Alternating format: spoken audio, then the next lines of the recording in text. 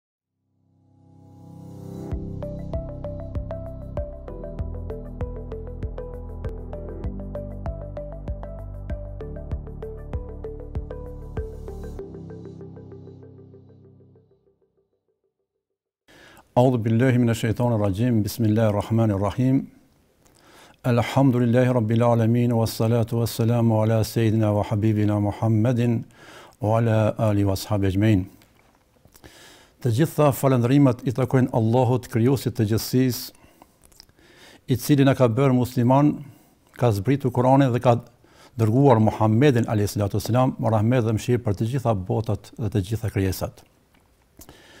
Paqja, salati, selami i Allahut qofshin për të dashurin tonë Hazreti Muhammedin alayhis salatu wasalam, për familjen e tij, për shokët e tij dhe gjithë ata besimtarë e besimtare që ndjekin dhe pasojnë rrugën e fesë Të nderuar besimtarë e besimtare, janë tri pyetje, tri qështje që vazhdimisht e kanë preokupuar mendjen e njeriut, mendjen e shkencëtarëve dhe dijetarëve të ndryshëm gjatë gjithë historisë njerëzore. Kush jam unë, ose kush jemi ne, pse jemi këtu dhe ku do të shkojmë?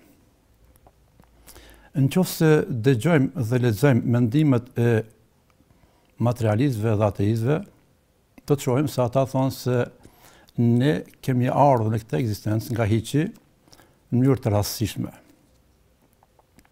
Ndërkaq Allahu i gjithfuqishëm në Kuranin famëlartë na tregon se ardhja jonë nga asgjeja, nga mos ekzistenca në ekzistencë, është rezultat i fuqisë absolute të Allahut, të Krijuesit të gjithësisë, dhe gjithashtu edhe Ardhja jonë në këtë botë, në kuptimin e asaj se kush jemi ne, është e qëllimshme.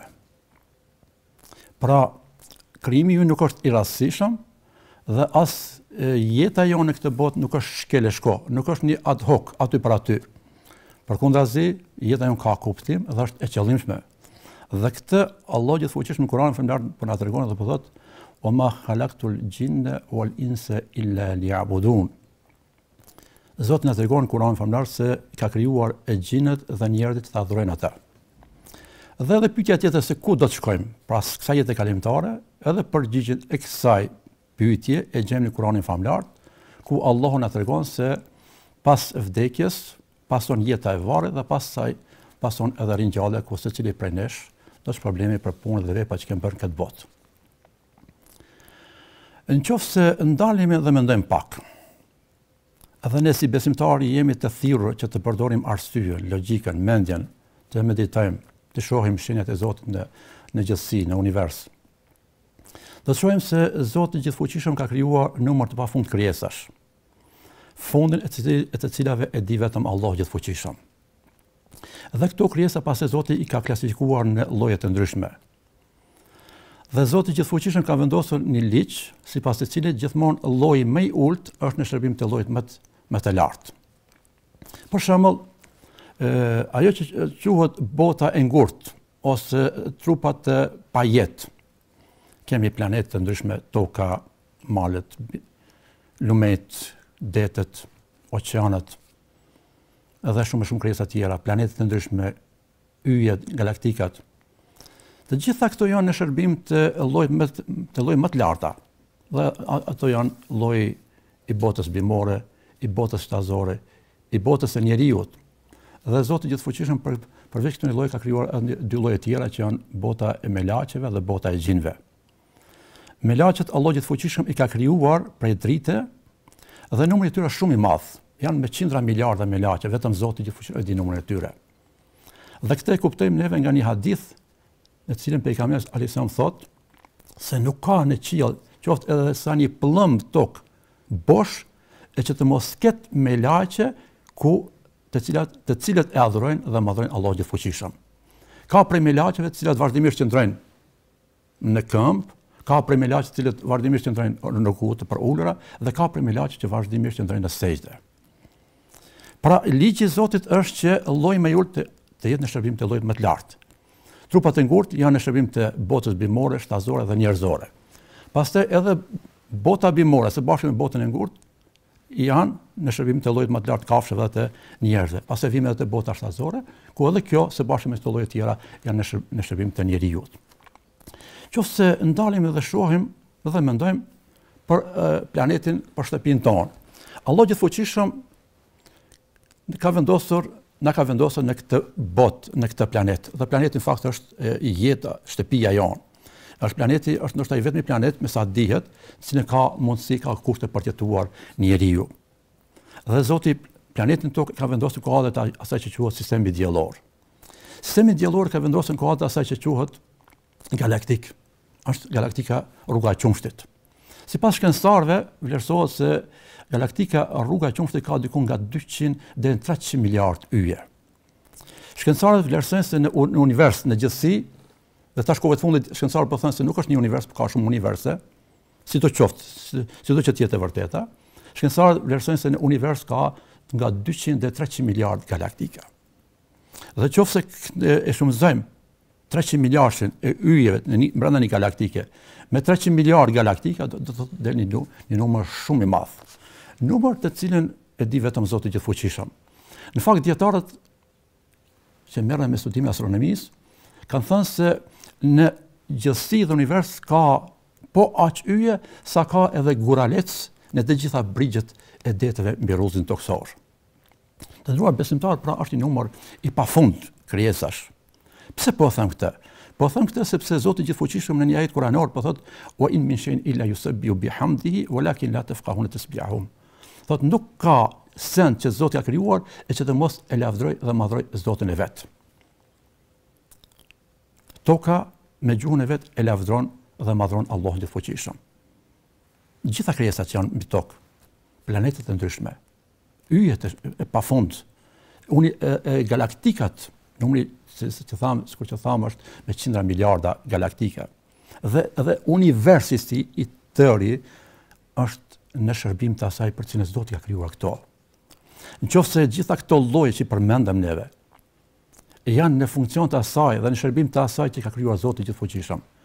Tash shtrohet pyetja Njeriu në shërbim të kujt tjetër duhet duhet të jetë, sepse Allahu i Gjithëfuqishëm po thotë: "Wa sakhara lakum ma fis samawati wa ma fil ard." Jamian minhu. Dhe këtë fjalën sakhara, Zoti thotë jua kam nënshtruar, thotë Allahu ka nënshtruar juve ma fi ato që ato që janë gjithë ato që janë në qiell dhe në tokë. Dhe kjo shprehje përdoret shpesh herë në Kur'an. Zoti ka ka vënë shërbim të njerëzve, ka vënë sistemin tokën e ka vënë shërbim njerëzve. sistemin diellor, galaktikat, gjitha, gjithë universi në një farë forme nga ana e Zotit Gjithëfuqishëm është vendosur në shërbim të njeriut. Dhe ato e kryejnë detyrën e tyre ashtu si duhet. E kryejnë misionin që për cilin ka krijuar Zoti Gjithëfuqishëm. Dhe jo vetëm kaq, por ato edhe me formën dhe mënyrën e vet me gjuhën e tyre e lavdërojnë dhe madhërojnë Allahun e Gjithëfuqishëm. Ue lakin la tefkahune tesbihahum, mirëpo Allahu i Gjithëfuqishëm po thotë, por ju, o, o ju njerëz, Nuk e kuptoni gjuhën e tyre në cilën gjuhë ato krijesa e lavdërojnë dhe madhërojnë Allahun e Gjithëfuqishëm. Prandaj ne duhet vazhdimisht ta falënderojmë Allahun e Gjithëfuqishëm që na ka bërë musliman, që na ka zbritur Kur'anin famëlartë dhe që ka dërguar Muhammedin alayhi salatu wa salam. Allah ka dërguar Muhammedin alayhi salam, pse ka dërguar Muhammedin alayhi sallam? E ka dërguar që të na tregojë rrugën e Zotit, sepse të nderuar besimtarë. e besimtare. Ne gjeni para universi i përngjet një orkestre gjigante, ku thurën lavdi Krijuesit, ku i thurën lavdi Krijuesit. Dhe në këtë simfoni universale, është një simfoni madhërimi, madh, lartësimi, shenjtërimit të Krijuesit të gjithësisë. Prandaj edhe Allahu vazhdimisht ka dërguar njerëzve pejgamberë, i ka dërguar edhe pejgamberin e fundit Muhammed sallallahu alajhi wasallam, në mënyrë që njerëzimi, edhe njerëzimi, sikurse edhe gjitha krijesat e tjera, të jetë në sinkron dhe t'i bashkangjitet këtij madhrimi dhe lavdërimi që bëjnë gjitha këto krijesa. Prandaj edhe kemi atë shprehjen që vazhdimisht e përdorin, e përdorim gjatë thirrjes namaz në ezan. Hayya sala, hayya fala. Eja në namaz, eja në shpëtim, sepse adhurimi që ne i bëjmë Allahut të Gjithëfuqishëm është shpëtim, është nder dhe privilegj për neve në këtë botë dhe shpëtim në botën tjetër. Të nderuar besimtarë, pra nga ajo që thash, me pak fjalë, mund të kuptojmë se nuk jemi vetëm ne që e lavdrojmë dhe e madhrojmë Allahun e Gjithëfuqishëm, por janë edhe gjitha krijesa tjera. Madje ka shkencëtarë që thonë, duke filluar që nga atomi, dhe jo vetëm atomi, por edhe nga grimcat e atomit, neutronet, elektronet e tjera, pjesë përbërëse të atomit, e deri te galaktikat, e deri te gjithë universi në tërësi, është në atë që, sikur që thotë Zoti i Gjithëfuqishëm, ua in min shein illa yusabbihu bihamdi. Çdo gjë, çdo send e lavdron dhe e madhron Allahun e Gjithëfuqishëm. Prandaj, këto lloj krijesa që Zoti ka krijuar, kjo ekzistencë, ekzistenca si e tërë, është në në kuadër të asaj që ka krijuar Zoti i Gjithëfuqishëm. Dhe në një farë forme është edhe e nështruar, i është dorëzuar urdhrit të Allahut të Gjithëfuqishëm. Dhe fjala musliman ose islam nuk ka kuptim tjetër përveçse të dorëzuarit, të bindurit të nështruarit Allahut të Gjithëfuqishëm. kam lexuar një thënie të një shkencëtari amerikan, i cili pas studimeve të gjata që ka bërë, ka pranuar fenë islame dhe pastaj çfarë thot? Thot kur un thot vendos të qëndroj në namaz dhe them Allahu Akbar, duke qëndruar në këmbë, më duket më dalin më duket sikurse gjithë universi po del para meje. Dhe gjithë ata së bashku me mua po thonë Allahu Akbar. Dhe po më duket se gjithë ato krijesa që nga atomi e deri gjithë universi i tërë po qëndron para Allahut të Gjithëfuqishëm në këmbë. Thotë kur un bie në ruku përulem, më duket sikur të gjitha krijesat tjera po i përulen Allahut së bashku me mua. Dhe kur un i bie në sexhde Allahut, me, e kam bindje se dhe kam një farë lloj përshtypje se edhe gjithë universi po i bie në sexhde Allahut të Gjithëfuqishëm. Me një fjalë pra, ne jemi në një botë, në një ekzistencë, ku çdo gjë, çdo send, e lavdron dhe e madhëron Allahun e Gjithëfuqishëm.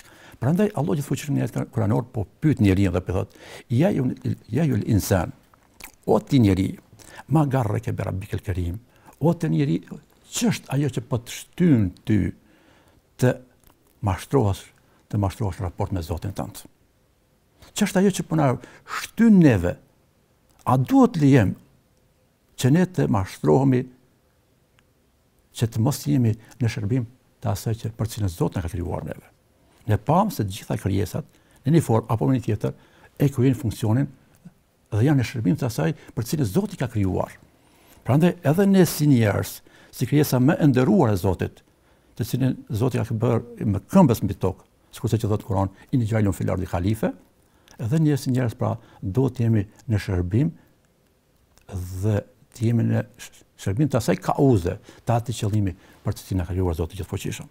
Të nderuar besimtarë dhe besimtare pa dasht me zgjat shumë, mendoj se secili prej nesh duhet të reflektojmë, duhet të kthehemi, të pendohemi dhe vazhdimisht të falënderojmë Allahun e Gjithëfuqishëm edhe për faktin që na ka bërë muslimanë, edhe për faktin që na ka zbrit Kur'anin famëlartë, edhe për faktin që na ka dërguar Muhamedin a.s., por edhe për shumë e shumë mirësi të pafundme që na ka dhuruar Allahu i Gjithëfuqishëm. Vetëm kështu në një formë apo në një tjetër deri diku mund ta mund ta ta kryejmë borxhin tonë dhe ndoshta edhe ta, të shprehim falimin, falënderimin tonë Allahut të Gjithëfuqishëm për gjithë ato mirësi që na ka dhënë Allahu i Gjithëfuqishëm. Në fund uroj që vazhdimisht të jeni në mbrojtjen dhe mëshirën e Allahut të Gjithëfuqishëm dhe inshallah vazhdimisht bëjmë vepra dhe punë me të cilat është i kënaqur Allahu dhe pejgamberi i tij. Assalamu alaikum.